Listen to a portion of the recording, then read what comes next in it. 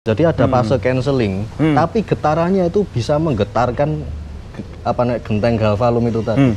Berarti getarannya itu bisa dirasakan, tapi suaranya nggak bisa dinikmati.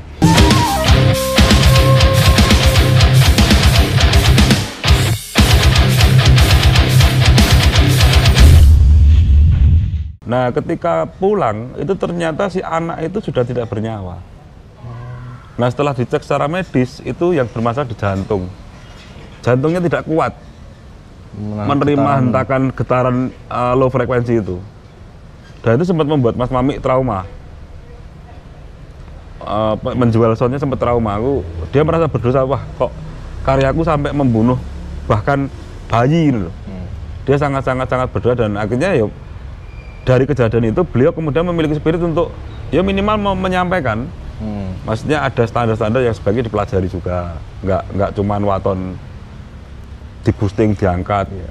Itu sama seperti kemarin yang tak alami itu kan apa namanya? Aku sempat ngukur kan pakai frekuensi Hmm. analyzer itu kan. Itu itu sampai frekuensi low-nya itu eh, timbul hilang timbul hilang. Jadi ada fase cancelling, Hmm. tapi getarannya itu bisa menggetarkan ge- apa genteng galvalum itu tadi. Hmm. Berarti getarannya itu bisa dirasakan, tapi suaranya nggak bisa dinikmati.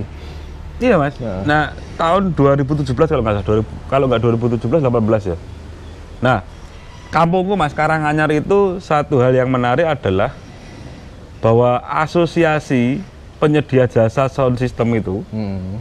skala nasional itu yang punya pertama baru Karanganyar mas Hmm. namanya APSI Asosiasi Pengusaha Sound System kalau nggak salah Indonesia Oh iya.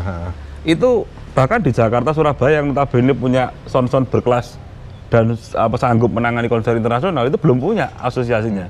Justru di Karanganyar malah sudah berdiri dan legal. Hmm. nah ini mungkin juga aneh ya bisa ya mudah-mudahan dulur-dulur APSI ada yang ada yang dengerin obrolan kita ini. Mudah-mudahan jadi menjadi salah satu apa ya mungkin eh, semacam program edukasinya ke para anggota.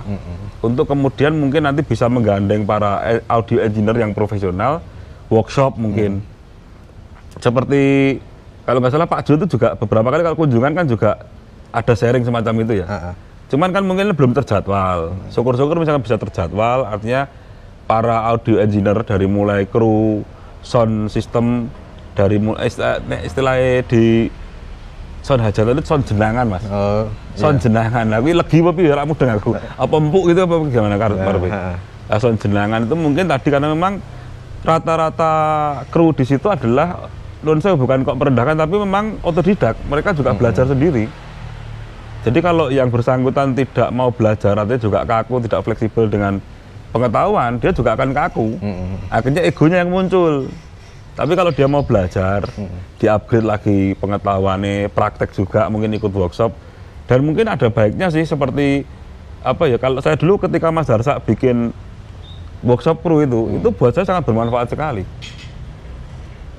sayangnya itu belum ada lagi Ya. sampai sekarang kalau dulu memang fokusnya Mas Darsa itu ke kru panggung memang Hmm. ke kru panggung nah ini mungkin kita ya apa mungkin ada dewe gawe ya Ya. workshop untuk apa istilahnya nek nggone sound jenengan ini sender Mas Vendor apa ya?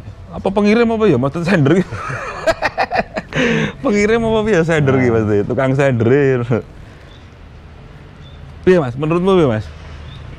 Aku dulu pernah menghadiri suatu eh, kegiatan ya, apa namanya eh, di outdoor dan dekat dengan sound system, ada yang jual mie ayam di situ. Hmm. Ya semacam kayak apa ya, kayak food court gitu. Itu soundnya gede. Ya. Hmm.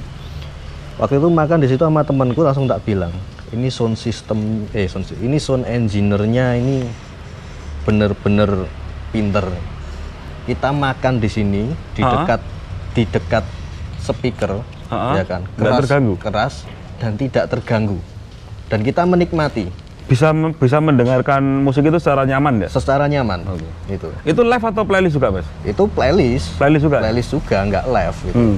Nah, artinya dengan sound, sound system yang katakanlah sama gedenya gitu kan, Hmm, hmm. ya kan. Tapi dengan sound engineer yang berbeda, setelannya ya beda.